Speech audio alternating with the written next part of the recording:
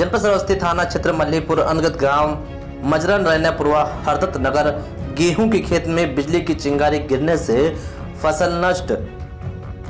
पूरा मामला जनपद श्रावस्ती थाना क्षेत्र मल्लीपुर अंतर्गत ग्राम मजना नरैनीपुरवा हरदत्त नगर गिरन का है, जहाँ पर गेहूँ के खेत में बिजली की चिंगारी गिरने से तकरीबन पाँच बीघा गेहूँ का फ़सल जलकर खाक हो गया।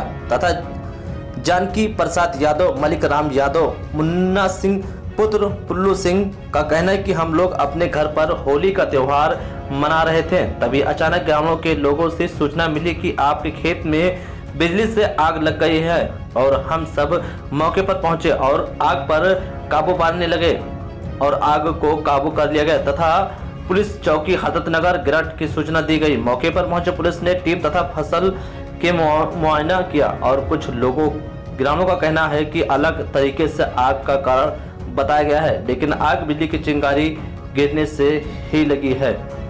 खास रिपोर्ट भुजो अहमद में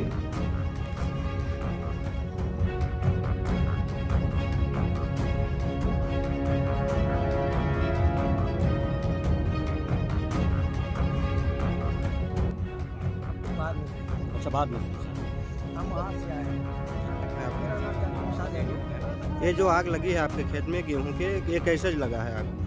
कारण से जो गाड़ा है जी। उसी के वजह से हमारा मकान खेत जल गया ये हो गया लगभग कितने बीघा जला हुआ है आपका पाँच छः बीघा जल तो आप लोगों को पता कब चला ये? हमको जब आया हम्म। जब जलने लगी फ़सल हम्म, तब ग्रामीणों के द्वारा हमको हम लोग आके ग्रामीणों वहाँ तालाब में पानी से चलवाए और वही तालाब से अच्छा मौके पर जवाब अरे पूछा नहीं खरा पूरा जल जल। खरा ले गया पानी नहीं गया। कहाँ रहते हैं आप? ये आग जो लगी है गेहूँ में कैसे लगी है? तार। से लगा है। तार से लगा है। नीचे खंभा एकदम तार एकदम नीचे है। जी।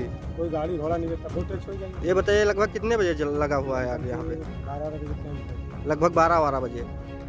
कितने बीघा नुकसान हुआ है आपका? जी। इधर देखिए। ये जो तार ग्यारह हज़ार लाइन की है बहुत नीचे इससे क्या समस्या हो रही है आप लोगों को? नीचे है बस गिरत है बस जल जाता है। आप लोगों का हर साल गेहूँ चलता है इससे? हाँ है है तो है। आने जाने में दिक्कत भी हो रही होगी आप लोगों को? दिक्कत हाँ। जी। और लाख पाँच लाख के लेके आए ट्राली घोड़ा से तो वो भी दिक्कत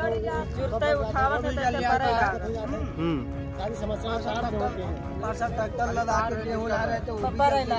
पूरा भरी का ट्रैक्टर। आप लोगों ने लाइन मैन को सूचना दी?